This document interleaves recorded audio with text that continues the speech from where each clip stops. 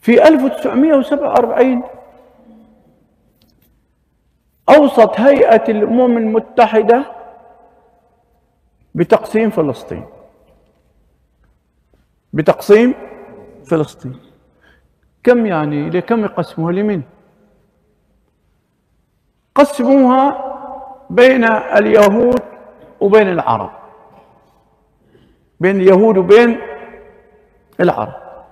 أوصت بإنشاء بتقسيم فلسطين إلى دولتين. دولة يهودية ودولة للعرب. وشوفوا التقسيم كيف؟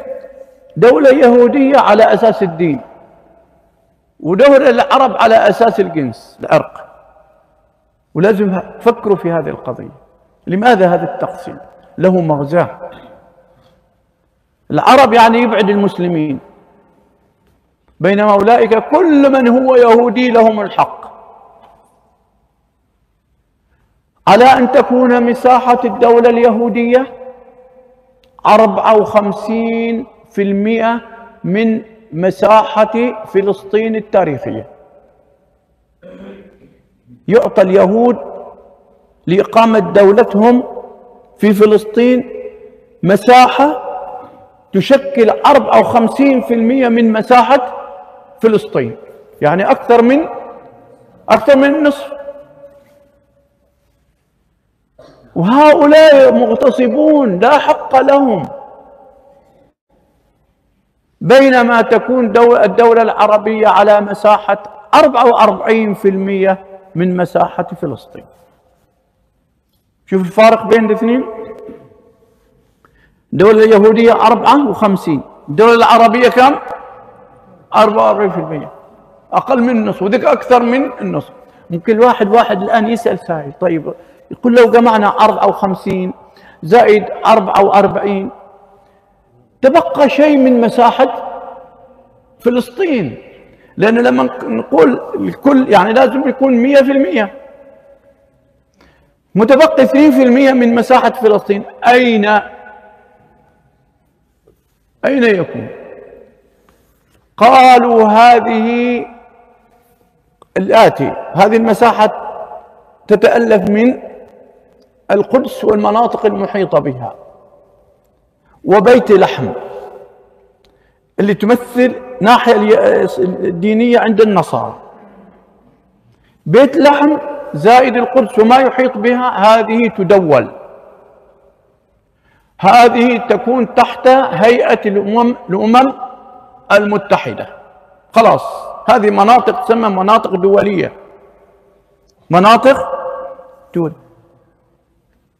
كأنه ميراث أبوهم يوزعوا ما هذا الكلام؟ ولما تضع المؤسسة الدولية يدها على شيء المؤسسة الدولية أصلا أداة في يد القوى الاستعمارية الصليبية الكبرى. خلصت القضية كما هو حاصل الآن. هذه النتيجة. هذا كم؟ عام سنة 1900 طبعا العرب رفضوا. العرب رفضوا. أكيد الصهاينة يوافقوا. كيف ما يوافقوا بعد؟ فرفضوا العرب وظلوا مع المقاومة وإلى آخره في مقاومات كثيرة طبعا. الآن فلسطين مع هذا التقسيم هي تحت الانتداب البريطاني. أليس كذلك؟ بلى. شؤونها إدارتها وكل شيء تحت الحاكم البريطاني. والحاكم البريطاني مقره في القدس ومؤسساته كلها مقرها في القدس. الأراضي التي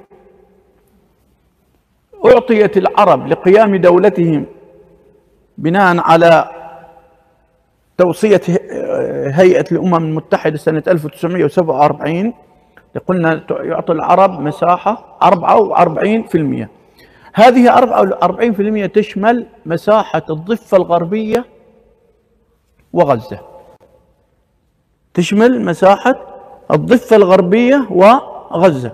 لأن القدس خلاص دوليا الآن مدولة والباقي للصهاينة. الآن أقيم الكيان. أعلن القيان قامت الكيان اللقيط على الأراضي الممنوحة له من قبل هيئة المتحدة. مساحة تساوي كم؟ أربعة وخمسين.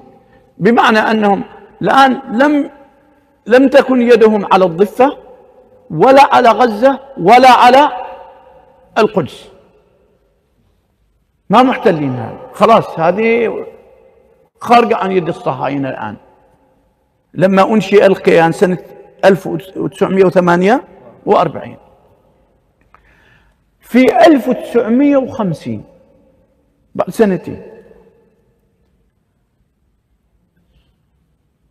يعني تمت اتفاقية سرية تسمى اتفاقية العوجة. وهذه العوجة منطقة في فلسطين. بين الصهاينة وبين الحاكم العسكري المصري على غزة. لأنه كانت غزة إداريا تتبع مصر. والضفة تتبع الأردن. لأن العرب الفلسطينيين رفضوا التقسيم. فقالوا خلاص الآن إداريا تتبع الضفة الأردن غزة تتبع مصر مصر سوت له حاكم يدير شؤونها جنرال أحد جنرالات الجيش. هذا اسمه محمود الرياض. فيما بعد عين أمينا للجامعة العربية. ليكافئ هذا الرجل عمل اتفاقية سرية مع الصهاينة مع اليهود. في منطقة العوقة وسميت اتفاقية العوقة وهي اتفاقية سرية حتى الفلسطيني ما ما على علم بها حتى أهل غزة. بموجبها منح اليهود من مساحة غزة 200 كيلو متر مربع. كانت أيامها قبل هذه قبل اتفاقية العوقة مساحة غزة اللي نسمع نعرف نسمع عنها الآن ها؟ مساحتها 565 كيلو متر مربع. الآن غزة مساحتها 365 كيلو متر مربع. أين ذهبت المئتان؟ محمود الرياض أعطاها اليهود لو كان مال أبوه ما يسوي طبعا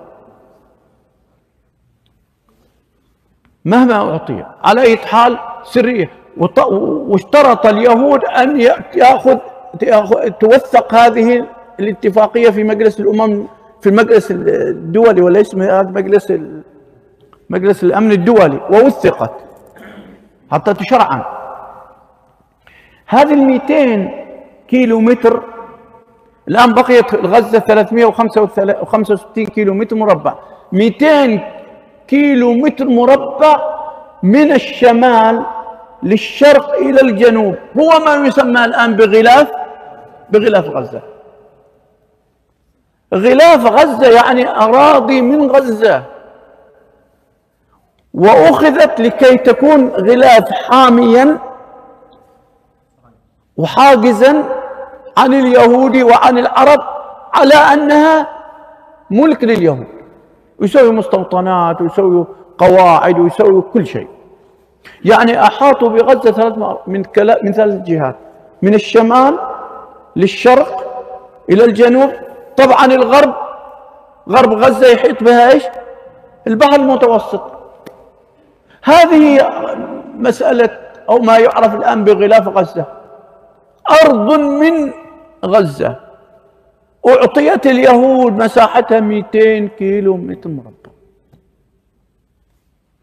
وأعطاها واحد من العرب. على أي أساس؟ توزع هكذا؟